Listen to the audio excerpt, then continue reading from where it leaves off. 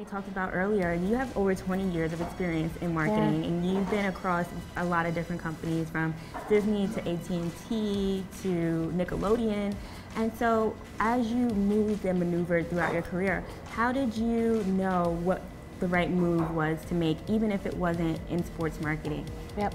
So, what my very first job out of college, I was blessed enough to work for another professional um, franchise, and I had my boss was incredible. Mm-hmm. I just looked up to her, and I thought to myself, I'm like, when I grow up, I want to be just like her. And it was another right. basketball team. It was another basketball team, and I worked for a woman who was the only woman in senior management and I thought, you know what, I want to be just like her.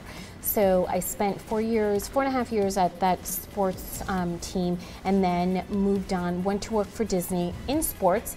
Um, that didn't work out just in terms of when I got there, it was very short lived, the department that I was working in. Mm-hmm. I came back and I started working for, for the league.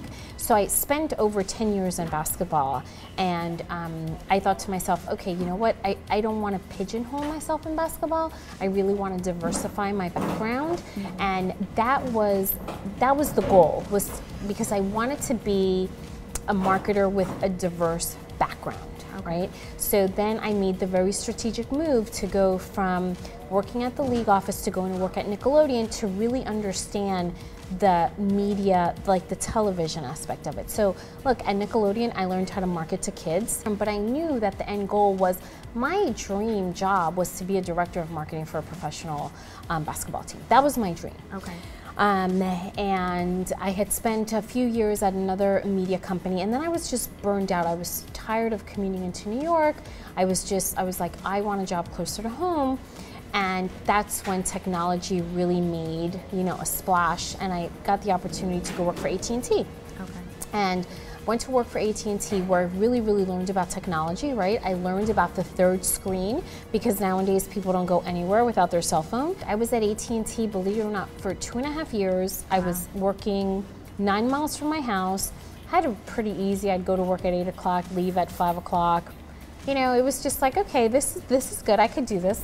Um, and then that's when I got the call for. Um, the position, I got a call from the, a recruiter for the marketing position for Barclays Center. Okay. Um, and I was like, sure, sure, you know, I'll go talk to you. And I, knowing that I didn't have like the right qualifications.